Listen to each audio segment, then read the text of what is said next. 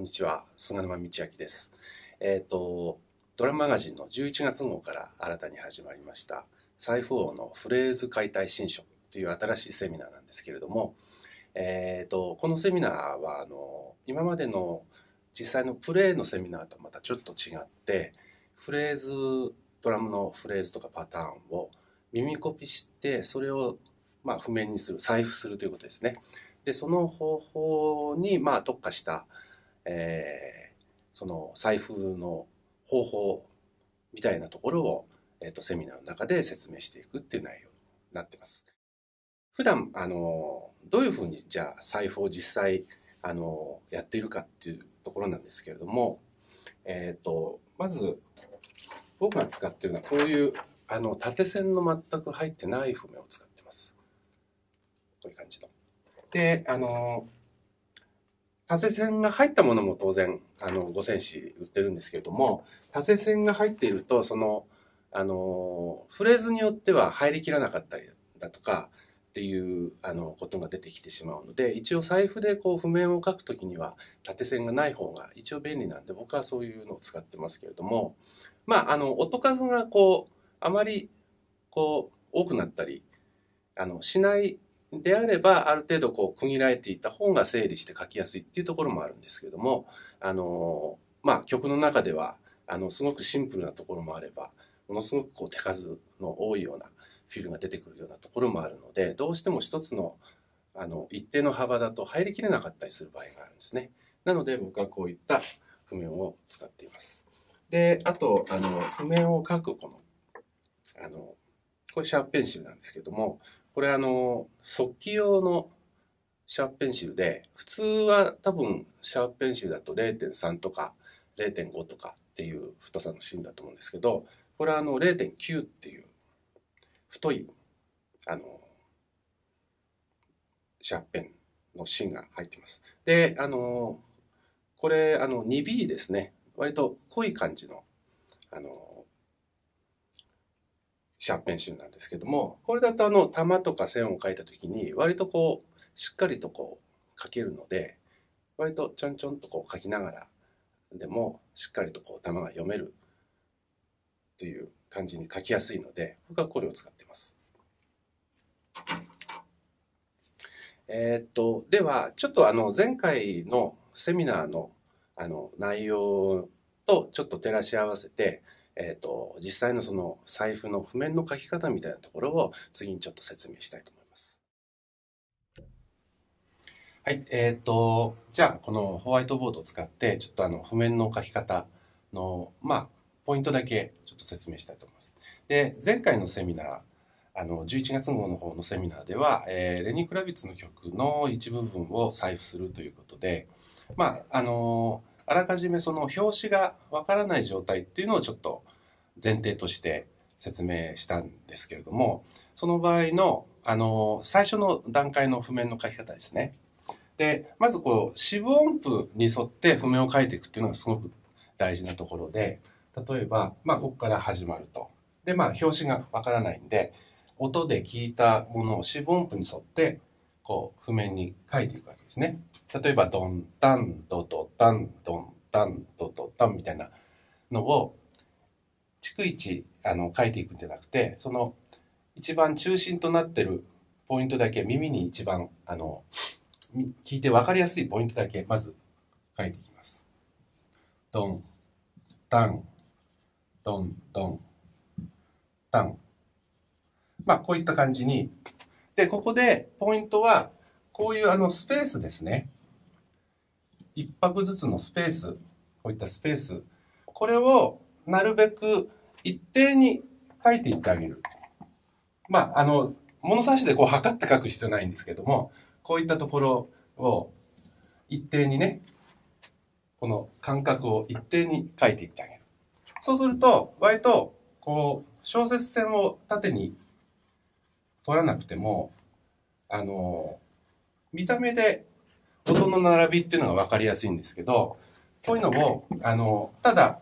音の通りに書いていくだけだと、感覚を一定にしないと、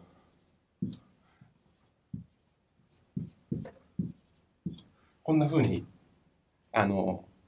書いちゃうとあの見た目にも一定のその支部のリズムの流れっていうのが分かんなくなっちゃう。ここがちょっと近づきすぎたりちょっと離れすぎたり。で次が例えばドンタンみたいにね。そうすると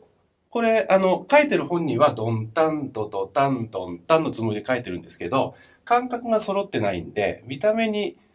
あの、次に自分が見返した時に、あれこれどうなってるんだっけ？ってこういうことになっちゃうんですね。なので、これを整理しながら、一定の感覚で、次は、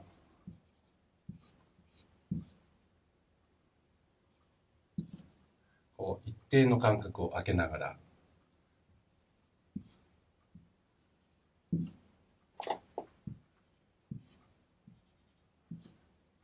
まあこんな感じにね。で、この前のあの曲では4分の2拍子のところが1箇所入ってたので、1、2、3、4、まず4分の4拍子ですね。で、ここ一定に開けてるので、ここで区切ります。で、4分の2拍子。で、またここで区切って、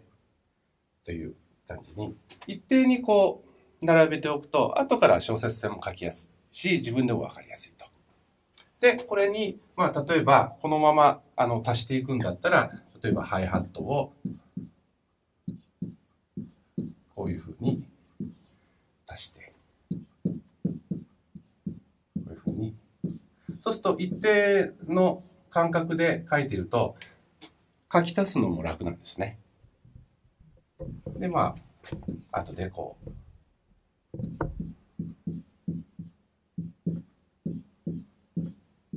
まあこういう感じね。そうすると一定にしておくともうこれだけで譜面が最終的な譜面が完成できちゃう。まああの場合によりますけどね、もっと細かいフレーズがたくさん入ってくると、もうちょっとスペースを広めに取っておいた方がいいとか、いろいろあるんですけども。なので、こういったことも自分でやっていく中で練習なので、ぜひ、こう、自分で書くというのをね、まず、あの、簡単な譜面からでもいいですから、自分で書いてみるというのをちょっとやってみてください。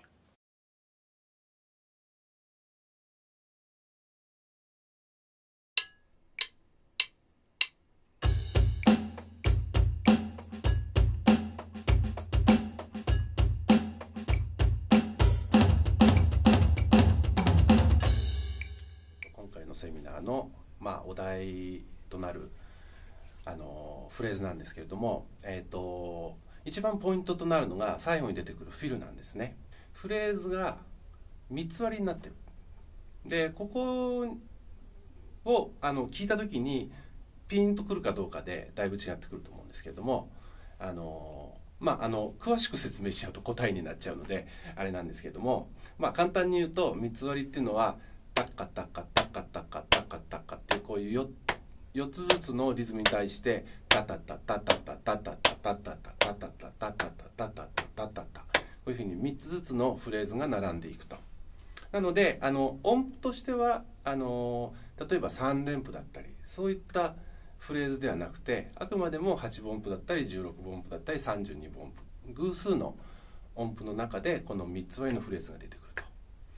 であのこのフレーズはちょっとまあ難易度はたあの高いあの財布する上では難易度はちょっと高いとは思うんですけれどももう一つのポイントとしては手と足のあのコンビネーションなのであのその手のフレーズがどういう順番になってるかっていうことですね。要するに右手左手なのか左手右手なのかそれによってあの叩くあのセットの上で叩くその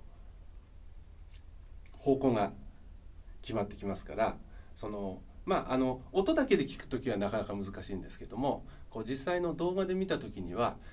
どういう手順で叩いてるのかなというところからその叩いてる楽器をまああの確定していくというところも一つポイントだと思います。あとまあこのパターンの部分は基本的には8ビートのパターンで進んでるんですけども一部分ちょっとこうゴーストノートが入ってみたりとかあのバスドラムがちょっと変化してみたりとかっていうとこがちょっと入ってくるのでその辺もこう注意してあの譜面にしていけるといいと思います。